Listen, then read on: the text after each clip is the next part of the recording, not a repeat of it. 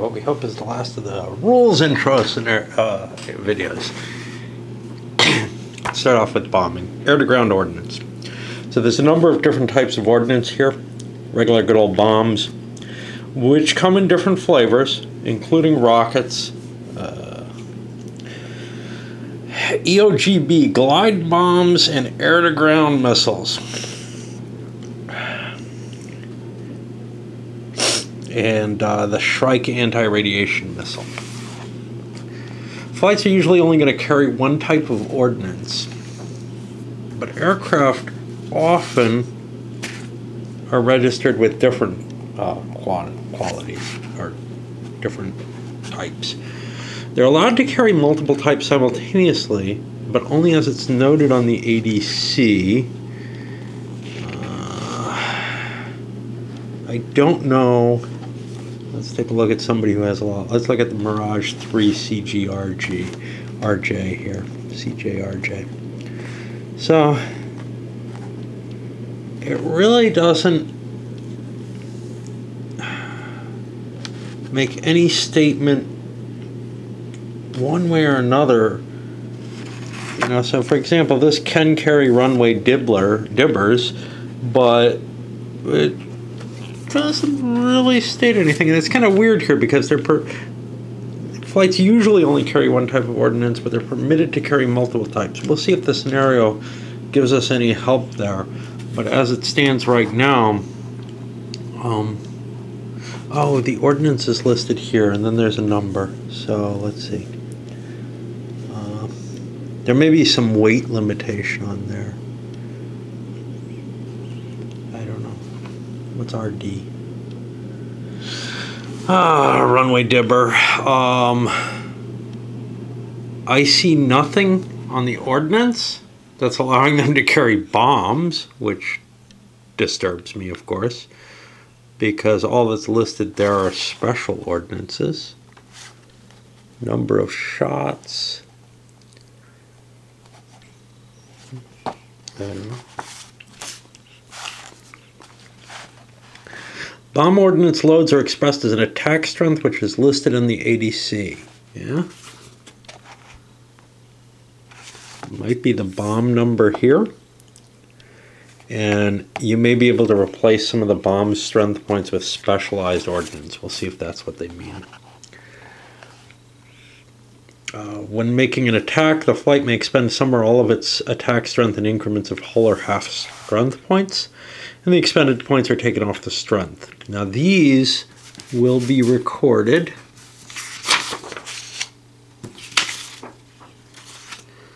here, I guess. Hmm. So this is where I would have expected it on the attack, more attack line sheet. But, oh, there it is. So the bombs and different ordinances are covered in that column. I thought there were two uh, two sets of plane tracking, but no, it's wider so it can carry the carry the bombing. Flights that are strafing will roll for depletion as if they were in air-to-air combat, and they deplete just the gun from that. Precision guided munitions may exist. Um, the EOGB and Shrike have a number of shots listed on them in parentheses here. And the flight starts with a number of shots equal to that value multiplied by the number of aircraft in the flight because each plane has its own load. And then you note that number of shots over in the flight log. I guess in these checks. One guesses. Um, each shot's going to give you one attack roll. When a flight makes an attack it can expend as many shots as it likes but they're announced before any attack roll is made. The shots are resolved separately. And when they're all expended, it can't use that ordinance anymore. No question there. Um, a flight can never have more shots in it than the ADC value multiplied by the number of currently undamaged aircraft. If you end up with more shots than that, you're going to have to discard the rest. Basically, then the assumption is that the planes that have been destroyed used up all their shots somehow. Uh, if a plane does not have ordnance on it and does not have drop tanks, it's going to be uh, considered uh, clean. And this affects, if you recall, the uh, maneuver and speed ratings. Otherwise, you're laden. Shrike is considered a lightweight missile, and it does not count against the uh, laden capability. Okay, carrying limit. Uh, bombs in an EOGB, if they exceed a speed of 4, the ordnance is basically destroyed. Um, you can still jettison it, but it's not going to have any effect, and you probably want to jettison it at that point. The Mirage 3CJ and Nesher have supersonic drop tanks, and they're exempted from this if all they have is their drop tanks on. While you're moving, you can dump your drop tanks or your ordnance. Um, you can also do it just prior to air-to-air combat, SAM avoidance maneuvers, and morale checks all require a jettison. ARM and air-to-air weapons don't have to ever be jettisoned, and they have no penalties for carrying. Okay. How do you make an air to ground attack? You're non-disordered and you've got a ground target in view. You can attack once each game turn and not more than one target. If the flight did anti-radar or SAM avoidance, it can't make an air-to-ground attack. If it's tasked with bombing, it can attack any targets in the raid's target hex. It can also attack anti-air of various types, including uh, SAMs. If it's targeted, if it's tasked with uh, the SEAD, the anti-air defense, they can only target the anti-air capabilities. The flights have to have ordnance of the correct type to do the air-to-ground attack. Bombs can be used against anything. EOGB can only be used against a raid target. ARMs only against SAMs and fire can because they're working off the uh, uh, radar. Flights with guns but no ordnance can do strafing attacks against any target with a profile of B or worse. Um, all right. The concept of a bomb run. In order to make an attack, the flight has to make a bomb run. In order to do this, it starts at, at an IP, an initial point, which can be any hex on the map. And then the bomb run is announced to be starting, and you move from the IP towards the target hex without making any turns. When you reach the target hex, and after any flak and SAM that you take, the attack takes place. And remember, the flak and SAM can affect your bombing uh, beyond shooting you down. The attack usually takes place in the target's hex, but there's some ordnance that allow you to attack from uh, range. Once the attack is uh, executed, the flight finishes whatever movement it has. It cannot make any free turns directly after the hex, i.e. before an additional, uh, uh, directly after an attack, i.e. before another movement point is expended. So you just have to fly a little further. Um, the attack profiles is based on the type of ordnance and other conditions. Okay, if you can't meet the conditions, you can't make the attack. There's a number of different profiles. Some are considered visual bombing, some are blind bombing. Visual bombing means you need a light of sight to the target throughout the entire bomb run. Blind bombing does not. Okay. Let's look at the restrictions. So for dive bombing, and this is the most common, you use a bomb ordnance with a visual bombing attack. The IP is one hex from the target. The flight must be at low altitude or higher. You can't climb. The attacker may announce they are pressing the attack. That'll give them a bonus on the actual die roll modifier, on the actual uh, attack table.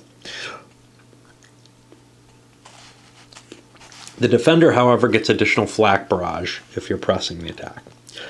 Uh, another option is to do level bombing.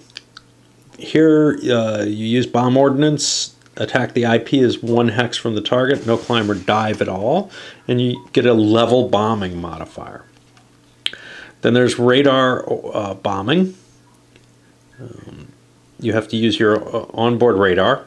You have to have radar bombing capability, which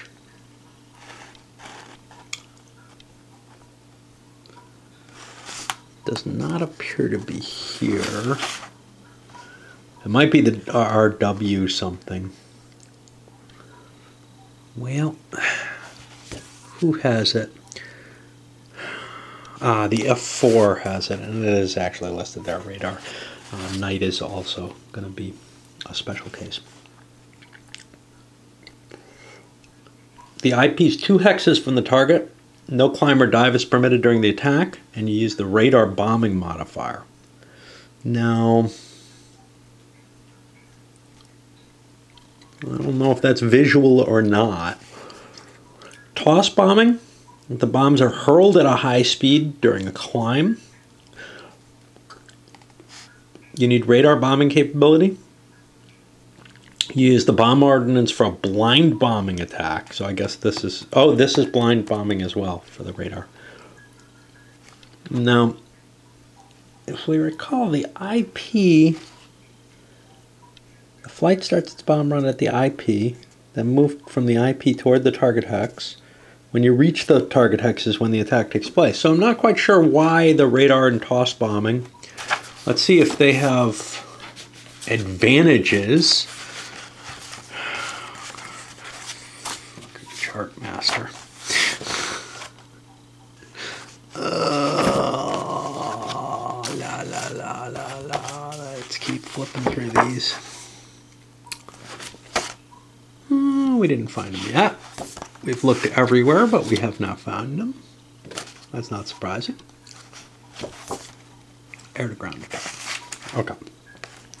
So now, if we're doing radar bombing, there's a penalty, and um, and the other one was toss bombing. There's a huge penalty on these things. But if you have to move into the same hex, which is what the rules seem to imply, and doesn't make much sense, uh, this is not very pleasant. So, I mean, this says the IP is two hexes from the target. That's the initial point of the bombing, but then you announce the bomb run um, is starting and move directly from the IP toward the target hex without turning. When the flight reaches the target hex, the attack takes place. Okay, let's look at toss bombing. Use the bomb ordinance for the blind bombing attack. The IP is four hexes. The target is attacked from two hexes away. Okay, so this is a little better. I'm not sure what the radar bombing does for you, except that you don't have to have a visual sight. So you might be able to maybe do a night bombing or something. I don't know. Uh, if we looked at the planes, we might have that. Uh, so who has radar? Well, the things with radar all have night. I'm not quite sure how these other planes that don't have radar are able to do night bombing, if that's what that means. We'll see if it means something else. Okay, uh, toss bombing allows you to throw the bomb from two hexes away after moving, um, after starting the IP four hexes away. The flight has to have declared it's moving at a speed of 4 MP or more, can't climb or dive, and it expends an extra movement point to make the attack. Does dive bombing expend a movement point? I don't believe so. Okay. Uh, EOGB. These are electro-optical guided bombs. You're using a television here. Uh, the Walleye 1 and Maverick use visual bombing method. The IP is three hexes, two hexes from the, for the Maverick, but the target must be attacked from one or two hexes away. Only always one for the Maverick. Attacks are not permitted from the high altitude. No attacks where line of sight passes through a cloud layer. Yep, we haven't mentioned this. Um, encounters that I didn't think about, but we've got some weather like haze and some cloud, and that'll just cover the whole map, but uh, that can be an issue. Oh, strafing. Okay, well, if you don't have any bombs, you may want to strafe. You have to have a gun that works and be able to carry out a visual bombing attack. The IP is one hex from the target and it must be attacked on the deck at combat throttle. No climbing is permitted during the attack. Only targets with a profile of B, C, or D can be attacked. Shrike, this uses anti-radiation special rules, all a little different. Okay, for the attack. First we calculate the attack column. Um, Flights with bomb ordnance take the declared bomb strength expended and multiply it by the number of undamaged planes in the flight, i.e., they're dropping whatever whole, you know, however many planes worth of that uh, mul- uh, amount of bomb. And use the highest numbered column that is equal to or less than the attack value. So, you know, if I came up to like a 15, I would be looking on the 12 table. Okay. So I probably want to be careful. Remember, I can use anything up to 0.5s here uh, for the bomb values. Strafing flights calculate the column as for flights with bomb ordnance. However, the bomb strength is going to be 0.5 per aircraft. However, 1 if they're equipped with 30 millimeter or higher size guns. EOGBs use the PGM column for the table, and Shrike uses the ARM. And those are just special tables for using those weaponry.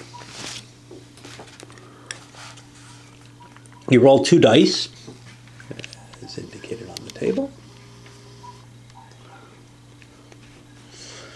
Uh, look up the result on the attack column of the air to ground table. There's a flak modifier, which is going to be generated. Uh, if I can find the AAA. Remember, that's the parenthesized value from over here. Um, and it'll be the largest one applied in any hex or altitude band flown through during the bomb run. And I, I, think that can extend over multiple turns, by the way, if the bomb run gets divided by a turn.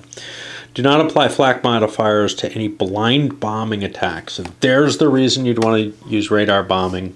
You're not coming in close enough that the flak is going to be scary, I guess. I don't know.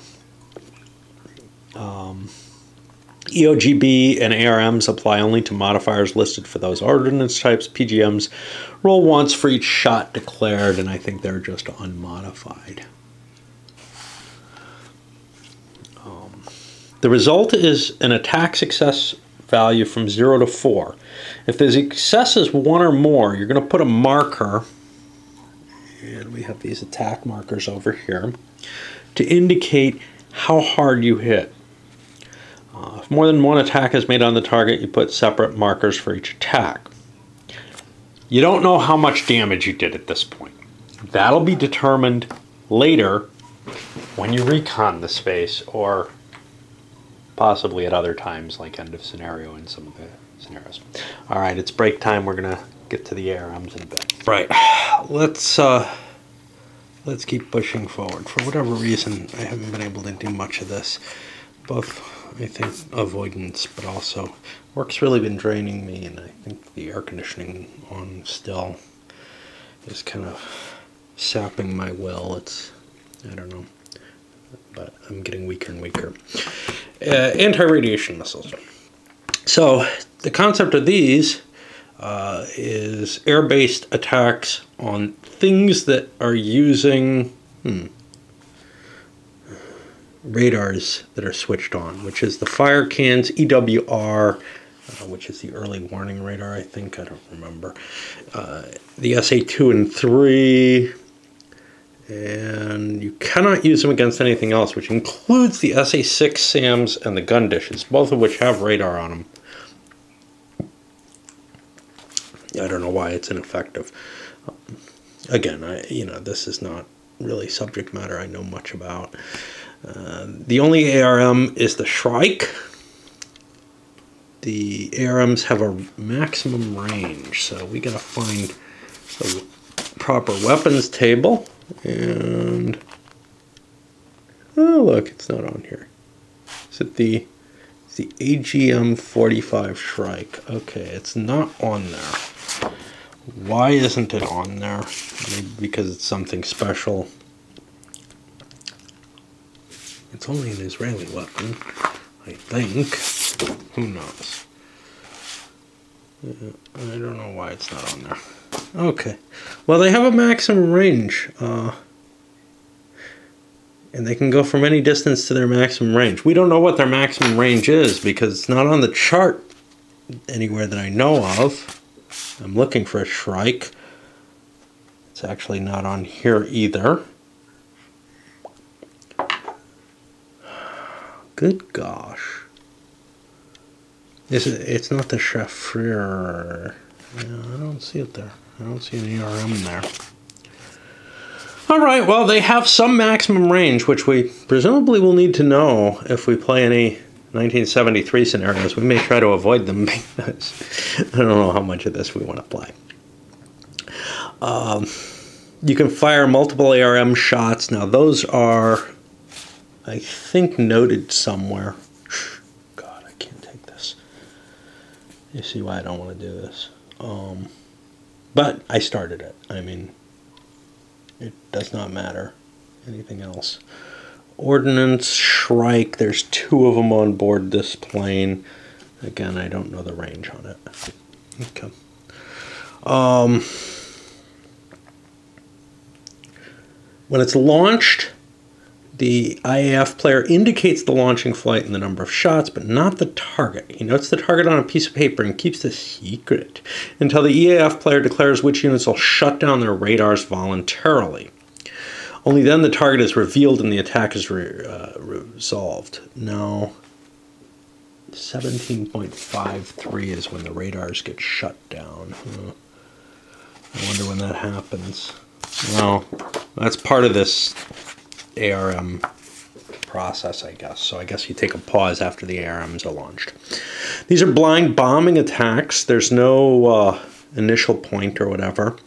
Instead, the flight can fire after expending any movement points, providing the targets in the launch arc designated by the weapon description. Okay, well, there's got to be a weapon description here. I do not see the Shrike here, and I do not see it elsewhere. And gosh, Uh, well, I think we can't play with this thing. It, maybe it's in the errata. Some errata was presented. And it could just be that there's, you know, they forgot to give the information. Or maybe it's in the scenario rules and the shrikes change between scenarios or something. Who knows? Who knows? Um, I thought these rules were pretty good when I just read through them, but when I start dealing with the charts with them, it's starting to get pretty ugly. Uh, not so much just as if there's missing stuff, just like there's missing counters, right? Or counters that are misprinted and stuff. Uh, where are we? The ARMs may be lofted to extend their mag. Maybe it's on the plane who carries shrikes? Let's find the planes that carry them. Uh, the A4EH Skyhawk carries them. Okay. I do not see any information on the Shrike there. I do not see, there's some random plane on this side. I do not see anything here. And I mean, I could just be missing it. Uh, because maybe it's not written as Shrike, but I looked for the other term, the AGM 45. I don't see that either. Yeah, I, uh, I think it just doesn't exist. Unless, you know, it's hidden on, on some other place, which is quite possible. Uh, you'd think... flip through all these fucking rule books and see if we can find a Shrike table or something like it. BVR. It's not a BVR. Yeah, I'm not seeing it. I see an ARM. ARM morale check. That's not what we're looking for. Okay. Uh, it can be lofted to extend their maximum range. Well, they don't actually have a number for that. So you expend an extra movement point in the launch hex because you're climbing without moving to execute the uh, lofted attack. And lofts are not permitted closer than four hexes from the target for these. Now, in order to defeat an ARM, you're allowed to shut off your radar. The ARMs can may only be launched at targets that have their radar on, except for preemptive ARM launches, which we'll get to. The EF player can shut down SAM and fire cans at the. That's all we can shoot. no, we can shoot at EWR. Uh, we don't know what those are really. Uh, um, at the moment the ARM is launched, the ARM does not have to be targeted at that unit. Well, you wouldn't know. Uh, if the launching flight is detected and the SAM or fire can hasn't fired for that turn. The radar is switched off and the unit is flipped to its radar off side. If the EAF player uh, does not voluntarily switch off the radar, you roll an ARM morale check immediately after the target's declared to see if the radar crew detects the launch and shuts it down in time. And hey, we found that chart. Uh, we roll, and if you get equal to or less than a 5, the radar shuts down with a plus 3 if the launching flight is undetected. Well, now, wait a minute. What Didn't we just see something about detected? Yeah, the launching flight has to be detected for anyone to shut it down under that. Maybe there's some other reason for that, or maybe this is just a rules uh, mismatch and we don't know what to do. And we'll probably play it both ways depending on, you know, whether we remember this rule if we get to it. The rate we don't think shrikes exist, so the radar is switched off and the unit is flipped to its offside. Yeah, yeah, yeah. Okay. Ah, yes. So no, you do make that roll with the detected because this check is made if you don't shut it off prior, then you still have uh, a 60% chance of shut of shutting your radar down uh, beforehand. Now, if you don't have a radar operable, the Shrike isn't going to find you. You roll an attack on the target uh, as you do not roll an attack on the target in that case, and the ordinance is expended. The radar is shut down voluntarily, or because of an arm check can uh, go on the can go back on during the admin phase. The launch arc for the Shrike is the flight's forward arc. Oh, we had to have a special Shrike roll. Maybe we have the maximum range here too, and its maximum range is one. Wait a minute obviously, you know, this is written not just for the Shrike and then has been re imaged for that, where they added an extra paragraph or something. But we want to see that lofting. Expend an extra. Uh, okay. So you extend their maximum range. That that's got to be spelled out here too. Um, the maximum range is 1 hex. However, if the attack is made from medium altitude or higher, the range goes to 2. A lofted Shrike increases that range by 3 hexes to a maximum range of 4 or 5. And remember, you can't go closer than 4. Damage caused by the Shrike is reduced. In terms of ground damage, they're a weak weapon. And they have phosphorus target markers. The Shrikes have a, uh, so this if the attack gets a success of two or better against a SAM target, it's automatically located at that target. Replace the SAM warning marker with the unit counter matching its ID. Remember, you don't have to see what you're shooting at with these suckers because they're just homing in on the radar. Uh, preemptive arm launches. Groff SEAD units can conduct preemptive arm launches. Arms may be launched preemptively of SAMs whose radar are turned off. These launches must use loft delivery. These do not resolve the attack until the SAM acquisition phase. So you're flying by, and then in the SAM acquisition phase, uh, the Egyptians have the option to turn their SAMs on. Uh, these preemptive launches must use, uh, right. And attack's only resolved if that SAM turns its radar on. If it doesn't, it's not attacked. Now, uh, if it turns on and there's a preemptive launch in the area, obviously you're not going to turn it off. But I assume if the radar uh, the radar still gets a morale check to switch back off, I'm not sure. We'll see. Yes, it must roll an arm morale check before the attack is resolved. If more than one SAM battalion is eligible to be attacked, the IAF player does not have to announce the target but can fake out the EAF player. You secretly note the ARM on the target. Now, I don't know if there's some kind of shrike in the air marker. I don't think so. So you're going to have to kind of remember that. The unlocated target modifier applies to preemptive attacks, regardless of whether or not the target was located. And we have kind of been forgetting about all of our charts here.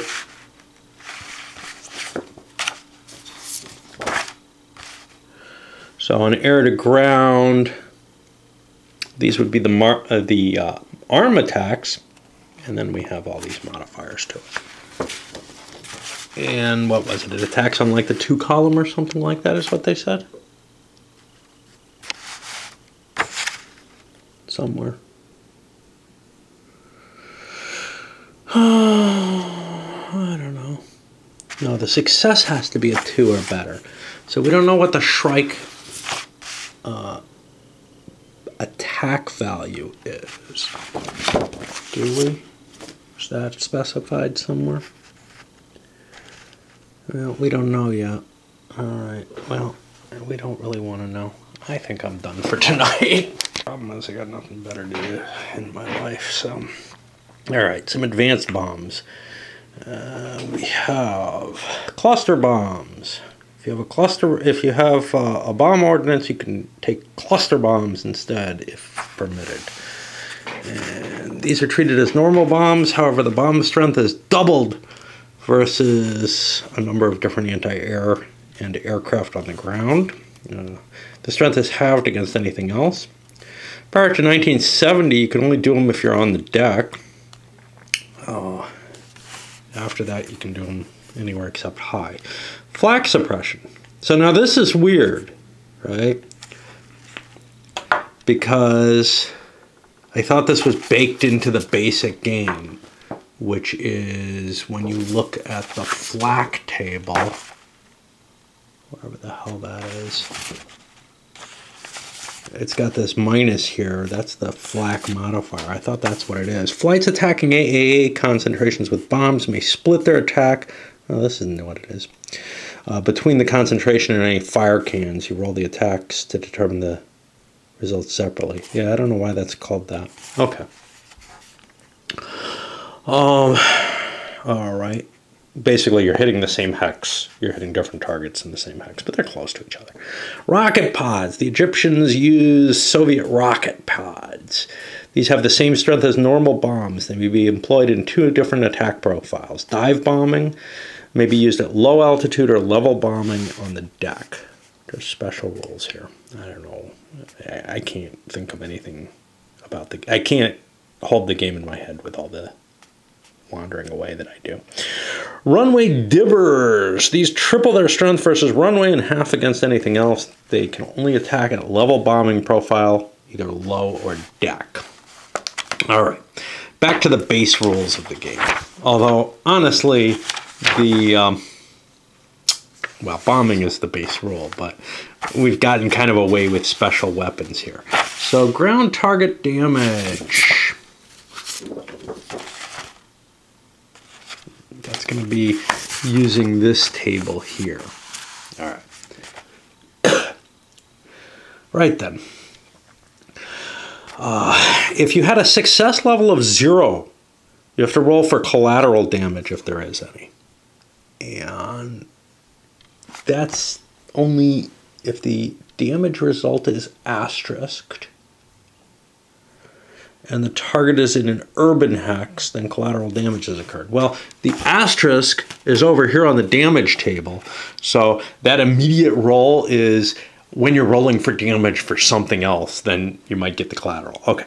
Roll immediately for damage to AAAs, fire can, gun dish, SAM battalions, and Army ground units because all of these could interfere with you. So you have to assess their results immediately. But for everything else, you roll for. Uh, and this could actually trigger the uh, collateral damage, which you would know immediately. For all other targets, you roll for the damage resolution in the bomb damage assessment phase, which will be generally at the end, well, it will be at the end of a raid. Uh, there's possibilities that you withhold. Uh, after all recon tasks have been completed. In the campaigns only, you roll on the in the campaign BDA phase for those targets that have been photo reconnoitered for BDA, bomb damage assessment. And this is a pretty simple table. The results are what's interesting though. So if you take a slight damage on the result, it's just uh, two dice against this table, no modifiers, except some others.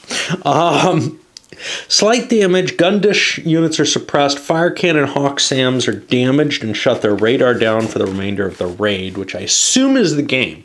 This is a weird thing because it is possible for there to be multiple raids in a single game of it, so I don't know why they say that, but uh, maybe this is a distinction from downtown and.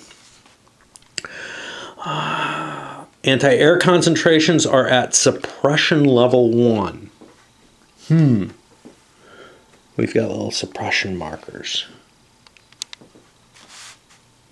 That's the flak suppression? Yeah. That's probably what that's referring to there.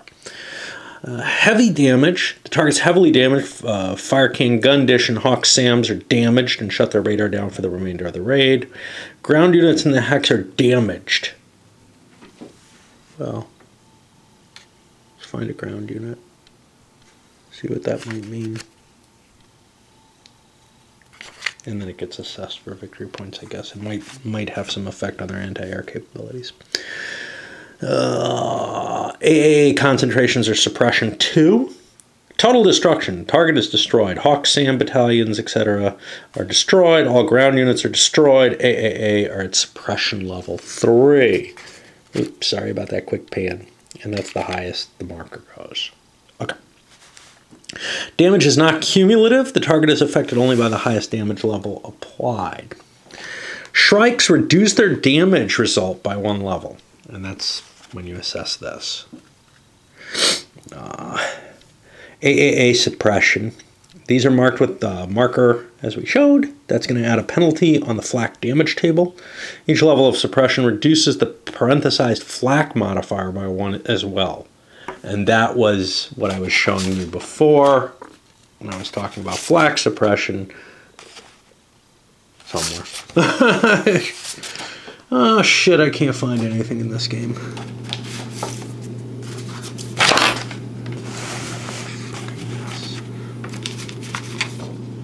Too many fucking charts. I, here, the no. There, the AA table has the parenthesized values, right. Collateral damage. If the damage is asterisk and the target's in an urban hex, then collateral damage has occurred. You put that in the hex.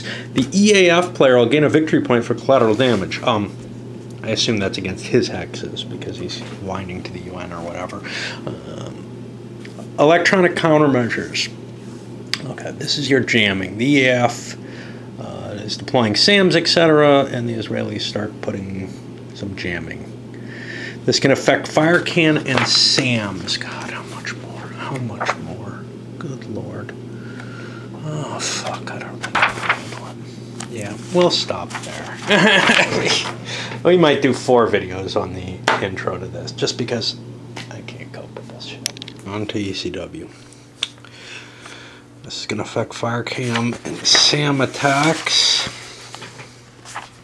There's two kinds of jamming standoff and defensive. The defensive will be on board the plane that's being attacked, trying to take uh, countermeasures, whereas the standoff is an external plane providing a jamming strength. Uh, aircraft can have defensive jammers. This will be on their ADC. Ooh, let's find that. Okay. So we have a jam here that's going to be this column. And that has a number and then the type of jamming, either noise or um, deception. And then some notes as to when something's available and what it does. Uh, you lose your jamming, uh, your defensive jamming, Okay, this will be a modifier on the FireCan and SAM acquisition rolls. Suppose we need to find those tables. SAM acquisition,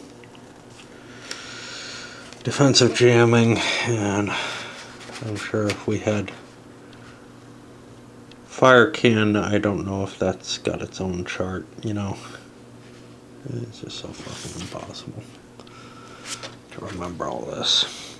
you probably have to reread each rule for each element. SFB has the same issue, but I'm at least interested, you know, and you can kind of dip your toe into it and get towards the depth of, of the game. With this, it's all kind of thrown at you. Uh, defensive jamming's lost when you turn more than your free turn allowance in a hex.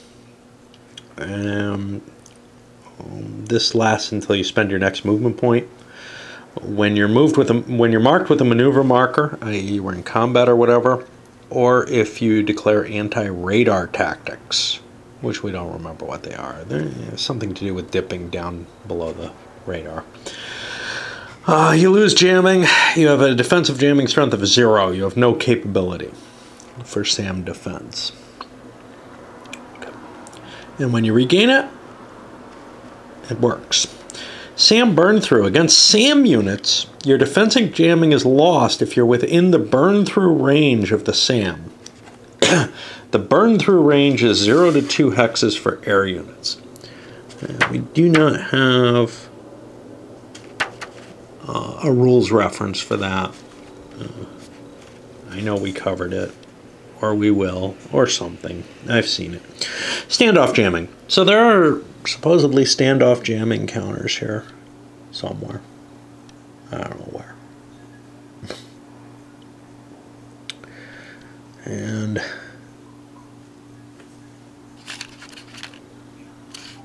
there they are. Okay. Um, and basically, these are uh, flights organized into jamming missions. You decide whether to deploy them on or off map. Uh, they have their marker associated with them, and that's going to indicate a 60 degree arc, uh, which will be affected by the standoff jam. Each standoff jamming marker has a strength. Yeah? This marker does not. It has a letter. None of them have a strength on them, but okay.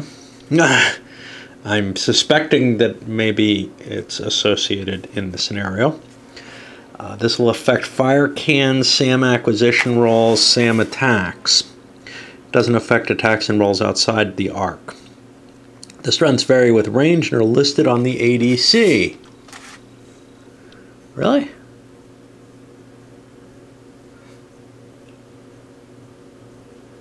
Okay, we'll pretend that makes sense. I do not see it. I see the jam column, and we have uh, the noise and deception, but we don't know. you know, I, oh, here's the burn through. I know I've seen it. I mean, I read it, but what the fuck? Uh, yeah, I don't see. I don't see this shit.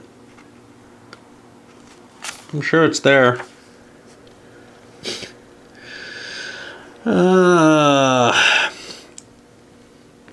multiply the strength by the number of undamaged aircraft that are participating in the jamming flight. At the moment of a fire can attack, SAM acquisition attempt, or SAM attack, the EF player defines the arc on the map projected by uh, the fire can or SAM battalion. The target's hex must be in this arc. The projected arc must totally encompass the target's hex. The target cannot be in a hex partially covered by the arc. Uh, but remember, when you're uh, on a hex spline, the attacks are, or is it spine? I don't know. The attacks are uh, against a given hex that is adjacent to it, so whatever. Uh, the projected arc must hold the target can yeah wait, standoff jamming markers are also in the projected arc the marker? I don't think so. I think the projection from the marker. Let's see. SAM-5 attempts to acquire the flight. The standoff jammer is not in the radar's arc, so it affects it at half strength. Where is this? Uh, SAM-V trying to acquire arc A. Okay, so the SAM is in range of the arc, but the Sam's not in the arc uh, or I'm sorry, the jamming is not in the arc that the SAM's projecting to catch that target. Whereas in this case, uh, the SAM is projecting, no matter what, the jammer has to have the SAM in its arc, but the uh, SAM is projecting an arc which does include the jammer. And so it would be half strength against A. Total the strength of all standoff jammers that can affect the result, round fractions to the nearest whole number. Uh, jamming capable flights can either can be on map in a mission. The jamming markers placed on the jamming flight's counter in the jamming phase.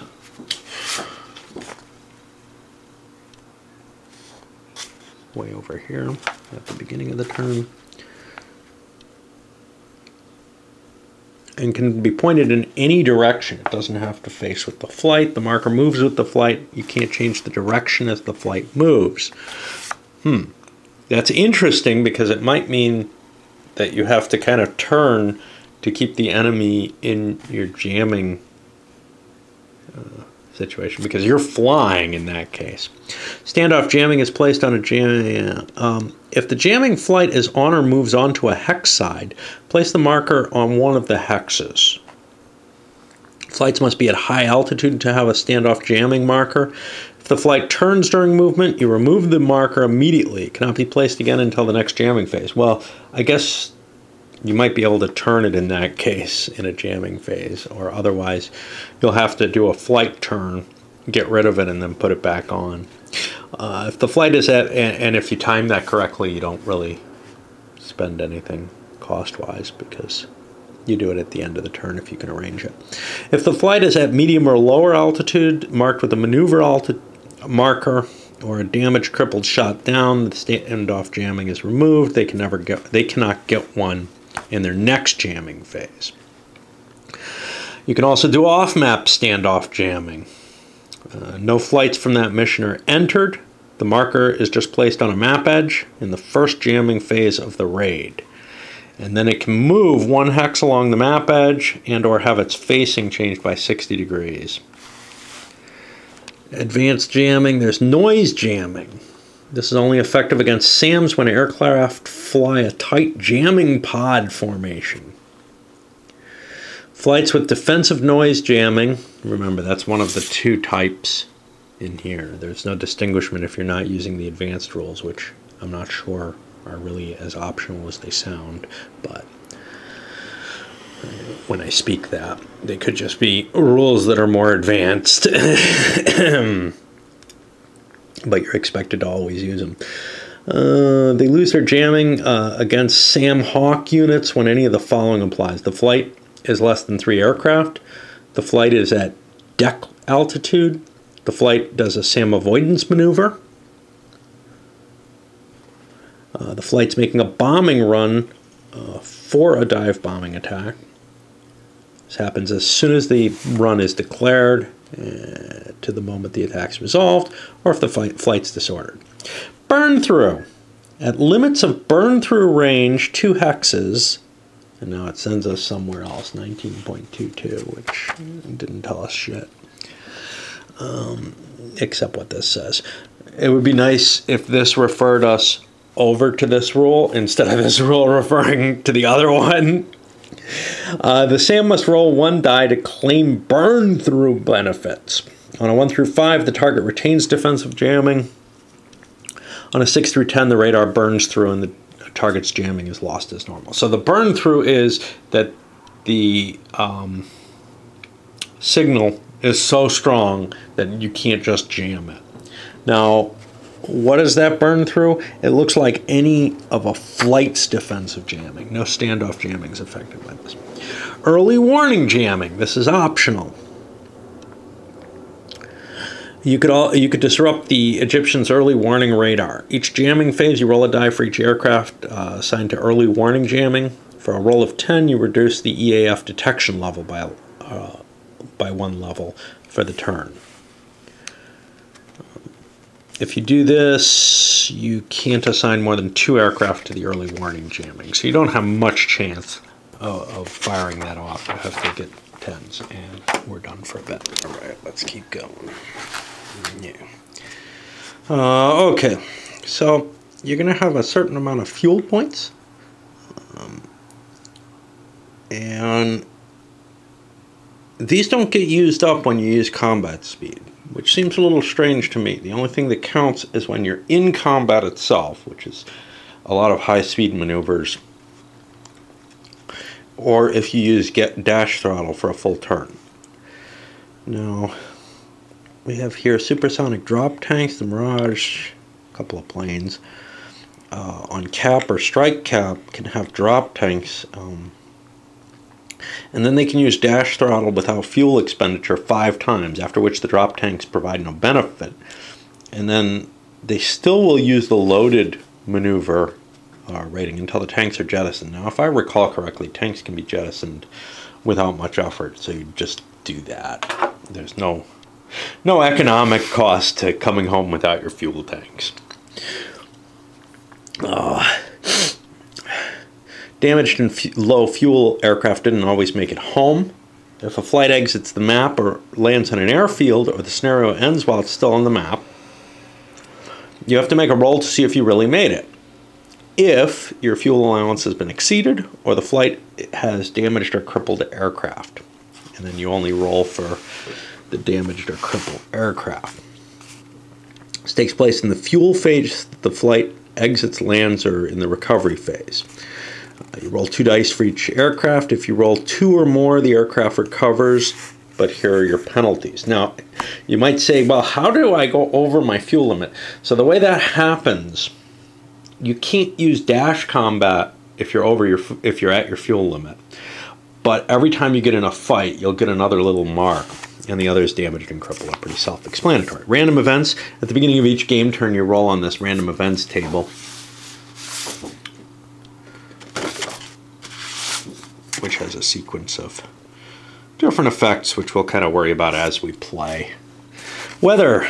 Uh, weather is generally going to be either off the random events table or off scenario instructions.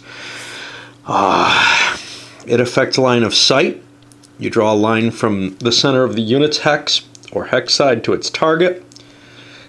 If there's a broken cloud layer and the range is greater than two hexes, the LOS is blocked. Uh, it's also blocked. I don't know what the. Um, treat ground units and targets as being on the deck for purposes of the rule. So you're not really just drawing through the terrain, the hexes on the map, which probably don't contain much because usually over the course of the map, from what I've seen, there's one layer of clouds or whatever in place. Uh, but also, if you're both on the deck and you pass through a ridge line, um, that'll block line of sight because you're so low.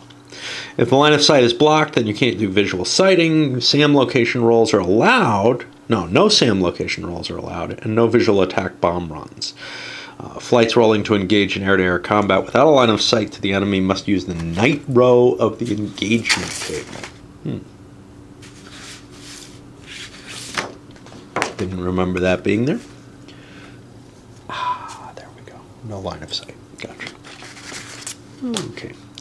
Uh, haze might be on place, in which case there's haze from the deck up to a band that's indicated. Uh, if you're flying in these bands, you're in haze. This will affect engagement and whatever EOGB is. I can't fucking remember the acronyms in this shit. Uh, cloud layers basically expand over a certain number of bands and they cover the entire map. And that, that's why I'm not sure why you worry about the tracing except if you're both on the deck. Uh, good contrast. So this is a possibility which gives a benefit to EOGB. I don't fucking know what EOGB is. And again, I'm going to have to stop, flip back, and see what the fuck this is. It's not EGROF. Electro-optical guided bombs. know, I'm sure if you're really, really up on modern air combat, some of this makes sense. But, okay. Night... Uh, Night raids probably don't exist on any of these scenarios. but you can use them if you want. And there's a number of things that they handle uh, phases of the moon, um, no visual sighting, no visual identification, and you need a night navigation to fly at night. Uh, we're not going to worry about this. We're not going to see it, but there's modifiers on the different uh, on, on different tables. Okay, I'm done for a while. There's only so much of this I can face at this point. It just it it's totally losing my interest. It's not that I don't think it's a good game, and I certainly, from what I can see, it looks like it's probably an incredible simulation. I just don't want this level of detail. And when I consider compare it to uh, SFB, right, where there's this level of detail, and I might not have been interested in a space game that gave that much at once, but you know, SFB started me off with a really simple game. The little old, uh, not not quite the uh, the first little booklet, but the um, the designer's edition, which is, is uh, essentially the same game, uh, and you know, trying to eat all this up and get all this detail in here, it's more than I want to touch now you know my tendency to go jump right into the deep end no matter what, and I'll be doing that when I play it. I just have no willpower to actually do it. It might take longer. We'll, we'll get there eventually. Trust me. We don't start things without trying them. Part of the real problem, you know. I've started getting further and further away from desiring to do the rules at all. And this is a case where I absolutely have to, but uh, it, it definitely inhibits my desire to do the game. I'm, you know, feel like I've gotten most of it, could gloss over the rest, and that's what I would probably do if I was going to just play it. But again, that's not what I was contracted to do here, so maybe I don't do another one of these. okay, the recon mission. Now, this is used to get uh, bomb damage assessment. There might be other reasons within the scenarios to use these. Uh, you need a photo recon capable flight. Um, presumably.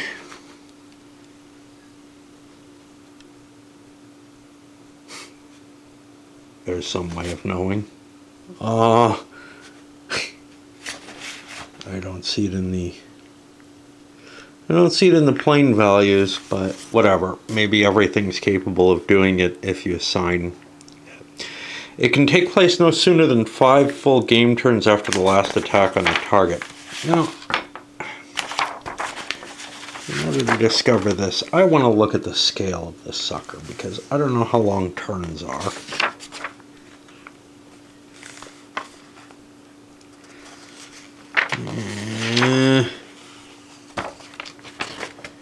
sort of, there we go. Uh, one minute long. And the reason for that is because the dust has to settle. Well, five minutes, yeah, that's a pretty short amount of time. Uh, recon runs are going to be conducted just like a bombing run, uh, with some exceptions. They can qualify the flight for a bombing run flak modifier, 14.31. Uh, the flight starts at an initial point, which must be two hexes from the target and at deck lower medium, unless there's haze, in which case it has to be all the way down at deck.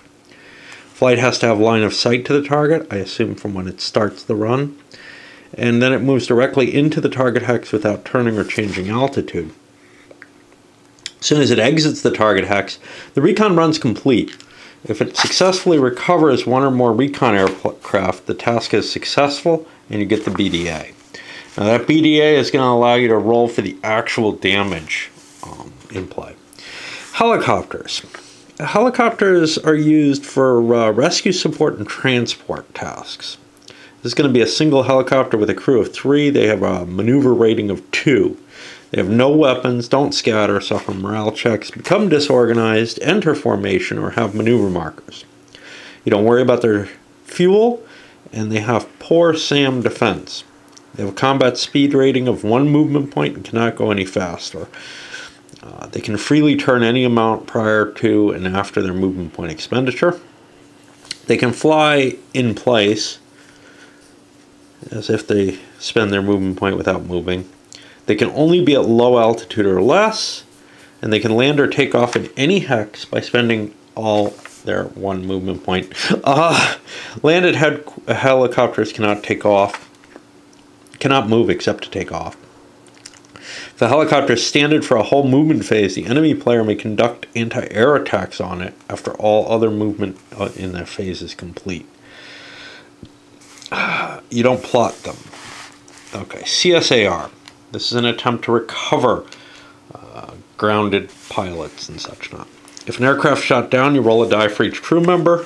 On a four or less, the crew member dies. Otherwise, he bails out, and you get one of these little parachute crew marker things on the board.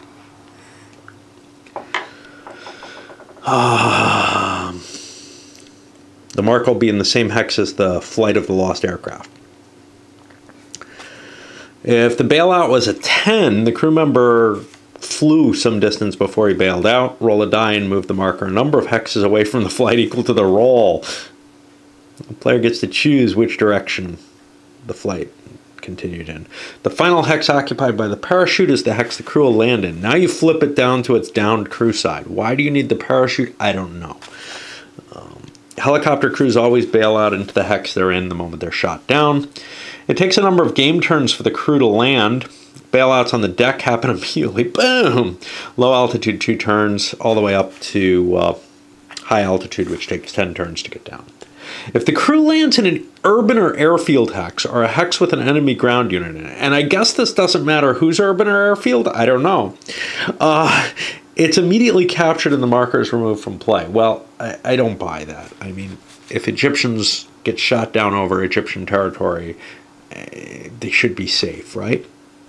If they land in sea, water, or marsh, on a 1 to 3, they drown and the marker is removed. On a 4 or more, the crew's in the water and can be rescued. Now, to make things simple, uh, if the crew's adjacent to urban or airfield, you roll two dice. Minus two if the crew's adjacent to urban or airfield, uh, ground enemy ground unit or AAA concentration. And again, I assume that's enemy urban or airfield. Minus three if it's within 10 hexes of downtown Cairo. I assume if it's an Israeli unit. Do you ignore the Egyptians for this rule? It doesn't look like it. Um, if you get a 10 or more, your CSARs rescued the units. Well, what's up with these helicopters then? They're meant to rescue units. I don't know. Maybe it's in special rules somewhere. Army ground units. Okay, so there's multiple different types of units. Uh, some of them are going to have gun get dished capability, whatever. Uh, armor is considered target profile B, mech or C, and infantry or D. Do we have anything in between? I don't think so. All right. The next thing is going to be defining the raid and, and, that's really like the scope of an entire scenario for the most part, and then the rules for the campaign game, and that's really it. All right, let's go through it. Let's start at least. Okay, a raid is one scenario. You have some information that helps you get started, including an order of battle, which may either be a table or a purchase capability. There's also special rules for the scenario, as well as any victory conditions that are different from the standard. Okay, quite often the EAF can purchase units uh, if they don't have an order of battle. So they're going to have MiG availability points and that will allow them to buy specific aircraft. And what happens is purchasing the right to have a flight costs you more than the cost per aircraft. So it'll cost you four to get the first plane in the flight, and then each additional plane in that flight costs two or whatever. And you're always going to have that kind of situation. So if you want lots of flights on the board with the same amount of aircraft, it's going to cost you a larger amount of points.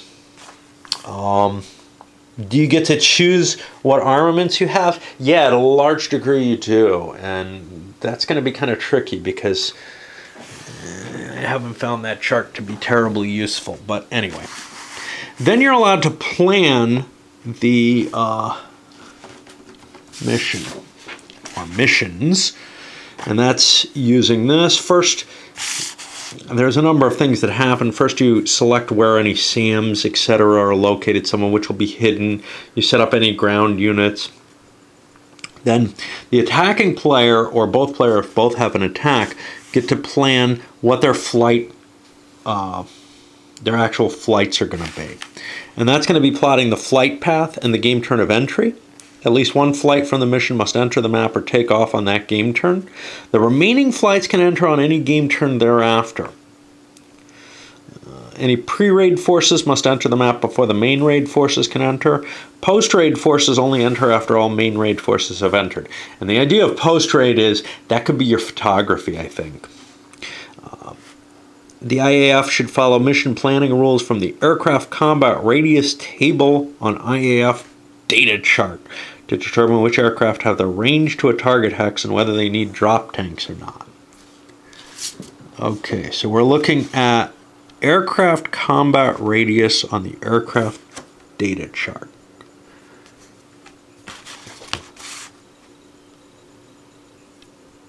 This should be the aircraft data chart. Uh, I don't see a combat radius. But that's what we have to look for, right?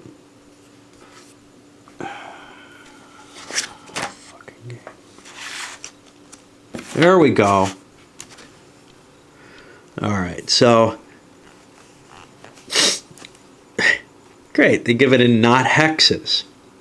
So they do specify it though. Targets in the Sinai will be short range, and I can't clear my map to show all this. Anyway, in Egypt, uh, greater than, equal to or greater than XX13 or medium, and less than XX14. Uh, somewhere. you know, uh, I've just given up Karen. Anyway, uh, entirely. Like, I don't want to game anymore because of this shit. All right.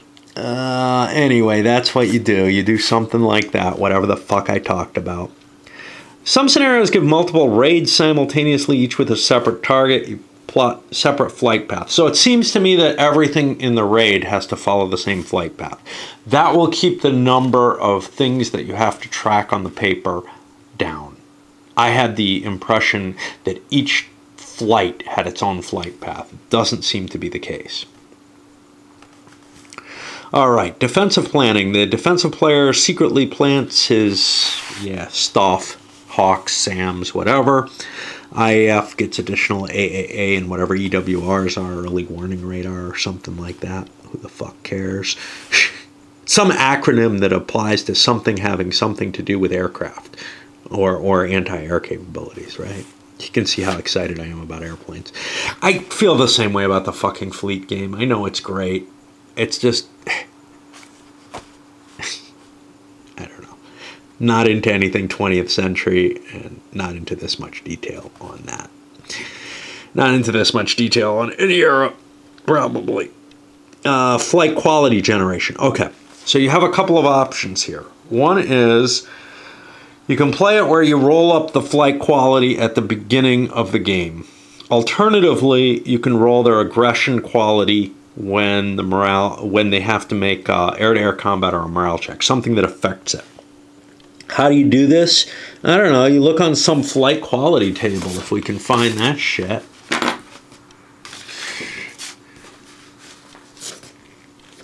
Well, there's more charts that you didn't know about. There we go, flight quality table. And there don't seem to be any modifiers, but there's the basic pilot training level, and that's going to give you this. And the pilot training level is something that the scenarios determine or you buy or something like that, whatever. Early warning. After both sides have finished planning, an SSR, uh, scenario, scenario rules. Have to have an acronym for that too. Ones that I don't care how much you know about aircraft, it ain't going to help you. Uh, to determine whether or not the EAF, another fucking acronym. And then we go to the IAF. Uh, they can allocate standing standoff jamming uh, to early warning to get modifiers. You roll dice, you get some modifiers that are somewhere or another. Is there an early warning table? Who knows? I don't know. Do they talk about it? No. Uh, you use the indicated modifiers off of something that's not mentioned, right? what a wonderful rulebook. It reads well enough. It's just when you try to apply it to all these fucking charts. So there should be some early warning chart, I'd assume. It would seem like it would be here, but it's not. So who knows where it might be. Maybe it's in the scenario rolls. You know, I mean, you're just left with this. Yeah, I don't, I don't see it. I don't think it's going to be in these charts. So, yeah, you roll on some unknown chart that doesn't seem to exist. Uh, you can allocate. Uh, you might be allocated early warning radar markers to augment your detection capabilities. If you get these, you can place it as hidden on the map. Is there something fucking here that tells me anything about this? By this point in the rules, when I read it, I probably wasn't being as careful and probably just was numb like I am now. Uh, anyway, uh, if you have some of these, you can put them hidden on the map until they're used. They get an extra detection check on the B column uh, uh with the appropriate modifiers. B column of what? Well, I don't know. Probably the detection table, but we don't know where the early warning came from, so I don't know uh, anyway, within 20 or 10 hexes if on the deck. The profile is a D target. Okay, then you set shit up. And I'm done. okay, yet another new day, but we're actually going to get through this shit. I'm beginning to get a cold coming on, so I better. I can taste it in my pipe. Um, okay.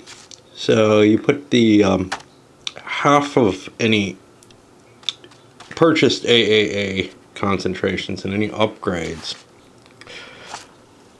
um, on the map, either active or inactive. Upgrades being the upgrades of the stuff on because you have to mark those as different.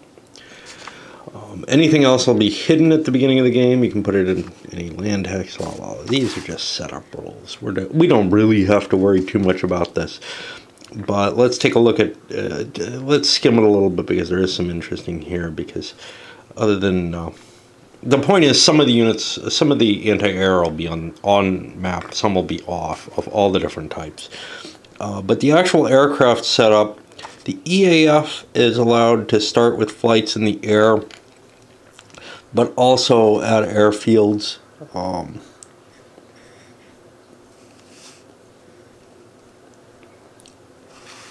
and they will all start undetected. The IAF can set up flights entering on the first turn of the game. They begin detected or undetected as indicated by the early warning level, which I think means you make a, a die roll. And remember, those can be jammed. We, we've been through this before. It's just, there's repetition. In the radar phase,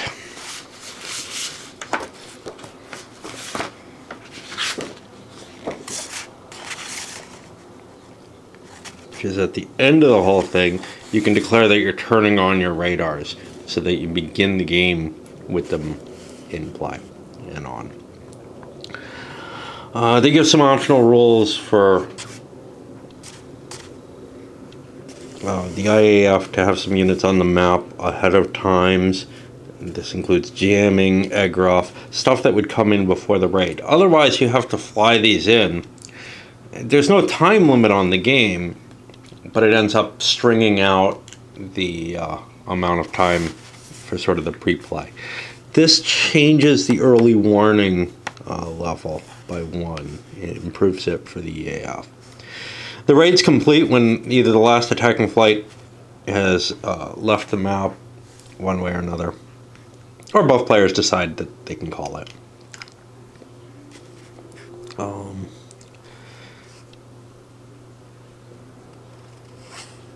okay, victory points are based on these charts here.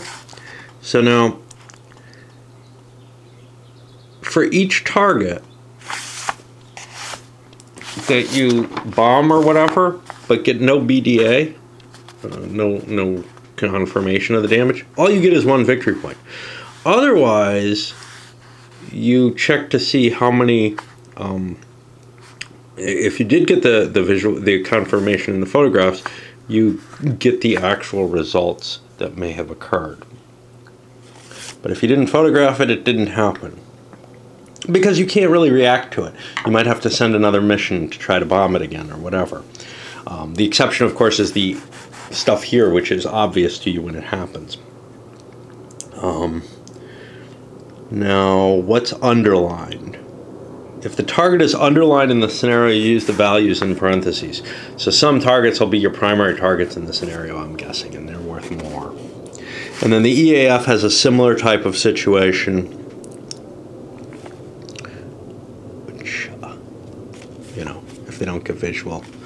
Uh, but these are really the attacker's points for the most part. Now, you subtract the EAF from IAF values, and this gets you a number, and then you compare it to this chart. But honestly, if the EAF is attacking, I'm not sure how well that works. All right, we are going to pause for the campaign game. I'm almost out of tea, I don't want to just plow through. That would, you know, spoil the whole effect of this. And just because I'll probably try a campaign game, I hope. I'm not sure it would certainly be the thing that I would be most interested in this for because the tactical operations uh, of flying a plane through ack-ack don't excite me as much as trying to uh, manage a limited force throughout a period of time. But uh, my guess is it's more of a scenario generator type thing. And that's essentially what the campaigns are. You're given a list of different targets, uh, basically a time period that the battle happens in, which is going to affect the planes that are available, how long it's going to be, etc., the weather, which may be random. And then on the first day, you plan your raids for that day, and then you execute them.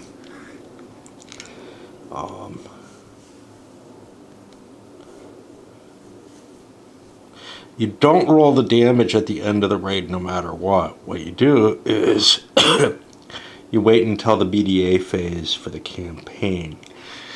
Attack success markers stay on the board until such a time as you can assess them.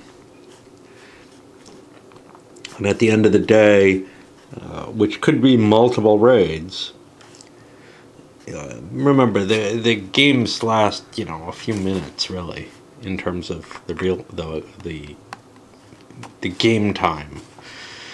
Um, you roll for damage on the targets. Those that have not been photo reconnaissanced, you get to leave the damage on them and recon them later. The EF will get some replacement points uh, to repair some of their units. They can move some units about. So now they're going to get points that they can buy flights in the planning phase of each raid. We'll have to see how it actually all works out. At the end of a raid, all the AA suppression is removed. However, damage and destruction of SAM bat battalions, dummy SAMs, etc., that'll persist throughout the day. At the end of a day, units are uh, removed from damaged units are removed from play and replaced with new ground units of the same type. Destroyed um, or damaged dummy radars are not replaced. Damage to all other ground units persists from raid to raid, the non-air support or anti-air stuff, even though it has anti-air capabilities. The IAF player uh, fails to photo recon a target. the EAF player has to roll in secret and keep a note of it because it can affect play throughout the different days. Now this is weird because conceivably it could have affected flight between missions as well. So I don't know. Like if it's an airfield or something. Uh, SAM ammo. You reload each uh, each mission. They're allowed to change the setup. Now this is in the refit and redeployment, which is going to be at the end of each day. You're allowed to change the setup of your units because a bunch of raids could happen in short succession. So there's no real there's no real time to move uh, installations around, even if they're fairly mobile. Um,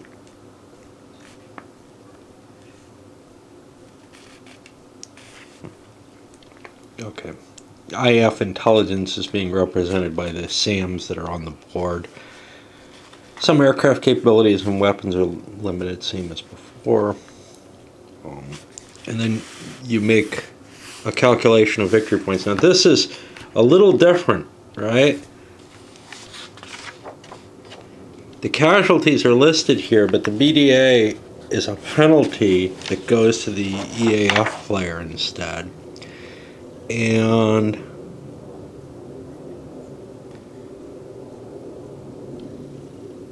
oh, this may actually yeah, this this is actually I think a point based on I think you do get the full points for the damage you commit at the end of the game but your enemy gets a point as well there. I'm not sure.